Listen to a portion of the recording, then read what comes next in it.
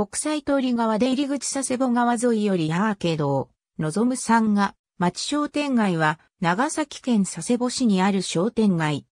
全長398メートルで直線でつながっている4が町商店街の長さを含めると960メートルとなり、直線のアーケード街としては日本一の長さとなる。3が町という名前の由来は商店街が松浦町、時和町、栄町の3つの町で形成されていることからである。また、アーケードはサンプラザの愛称がある。2007年4月から市街地活性化の一環として、栄、時和地区の大規模な再開発に着手したが、商店街関係者等に反対の声があり、進行が停滞していた。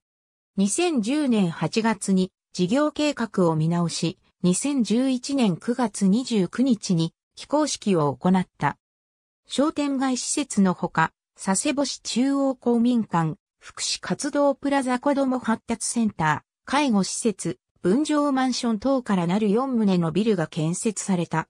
2013年7月に、栄北地区がプレオープンしたのを皮切りに順次整備され、2014年10月26日にグランドオープン。2015年2月1日には中央公民館及び子ども発達センターのサンクルへの移転を完了した。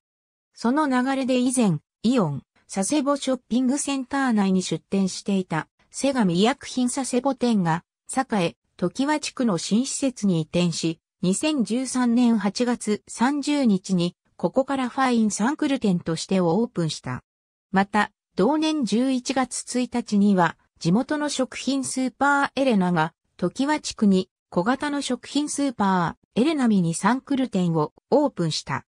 4が町商店街同様、比較的昔から営業している店舗が立ち並び、栄町付近から松浦町付近まで、百貨店、薬局、金融機関の支店、ファストフード、その他各種の専門店が並んでいる。また、アーケード街と交差する沿道にもいくつかの店舗があり、ガソリンスタンドも並ぶ。前述の通り、2014年にサンクルがオープンしたことで、テナントとしてドラッグストアや食品スーパーも出店するようになり、翌年には公民館や子供発達センターも開設している。店舗は約40店舗あるが、本節では代表的な店舗を列挙する。テナント名次の内は所在する町名はアーケード街の外にある店舗である。その他の店舗については外部リンクにある公式ホームページを参照のこと。大阪市北区の天神橋筋商店街は延長 2.6km と商店街そのものの長さでは3が町商店街を含むサルクシティ4 3より長いがアーケードが途中で道路に分断されている場所がある。3が町商店街も道路により分断されているが、その箇所にもアーケードが存在する。天神橋筋商店街でアーケードのつながっている箇所のみの最長部分となると6丁目商店街から2丁目商店街の北部までで約 1.4km である。AB 子供発達センター中央公民館がサンクルに完全移転します。佐世保市2017年1月29日閲覧。